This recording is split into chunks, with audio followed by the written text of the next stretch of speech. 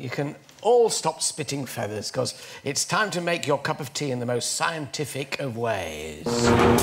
Oh, yeah, this is the moment the national grid goes into meltdown.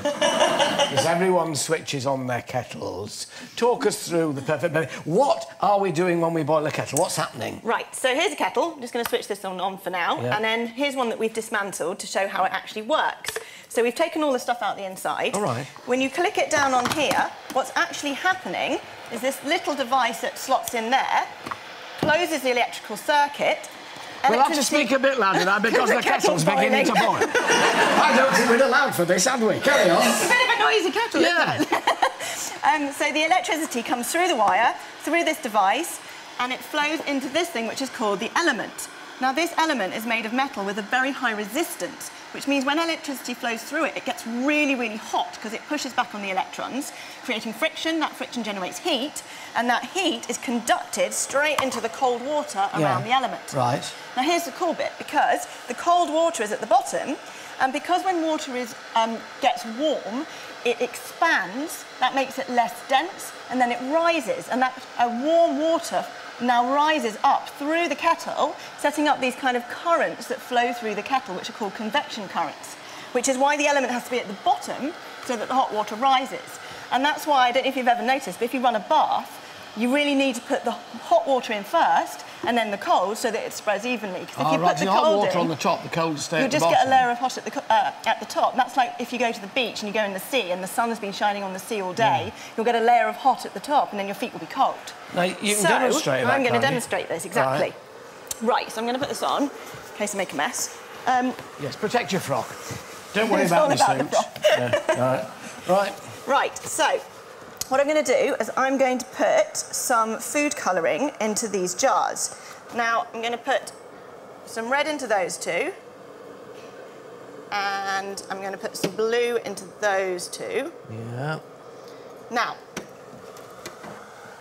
ideally, that will be almost boiled. Yeah. So well, it is then... just about. Do you want it turned off? No, it's all right. No, we Now, need how that does it know when to stop before you get Ah, that far? clever, yes. So at the top of the kettle, actually in the heating element itself, Yeah. there's what's called a bimetallic strip, which is a strip of two metals, and when the water we- reaches its boiling point, so 100 degrees, one of the metals expands faster than the other, so the strip actually bends and breaks the points of contact in the circuit, Ah. shutting off the electricity. So it's got. It's quite critical that that uh, type of metal does actually do that at the right temperature. So Yeah. there's two metals Yeah. on top of each other. Yeah. So bimetallic, two metals strip. Yeah. One expands faster than the other because all metals expand when they get hot, but at different rates. Just- And then it twists like that and breaks the circuit.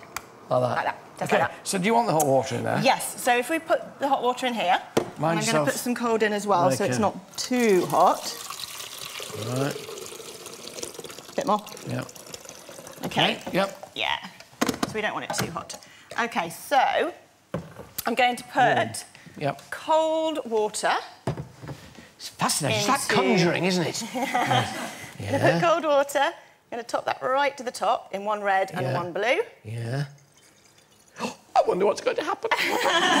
And then this Yeah. should be warm, Yeah. but not too hot to handle. Is it? Right. Yeah, it's fine. Um, so that's going to be hot water in Yeah. that one.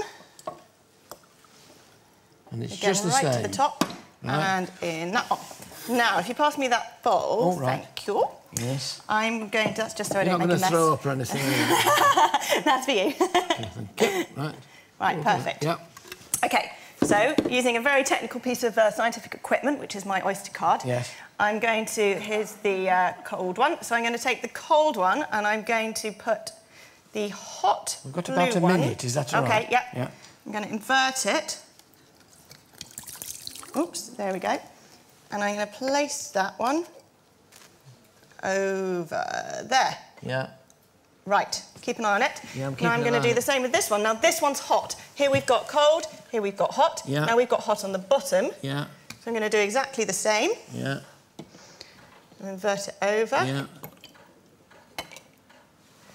Look at that. well, would you look at that? So what you can see happening is the hot water Yeah. rising up to meet the cold and to mix with the cold. There's convection currents going on in this one. Here you've got the hot water on top, so this cold water isn't mingling and the colours aren't mixing. Yes. Well, there you are. Now to make... Isn't that amazing? Well, to make a cup of tea, we need a couple more minutes, so I'll see you after this one. I'll be joined by the comedy actress whose latest sitcom sees her struggling with a job centre full of no-opers, and that's just the staff. The job lot Sarah Hadland's coming up. We're going to make the tea, let it brew. We'll be back momentarily.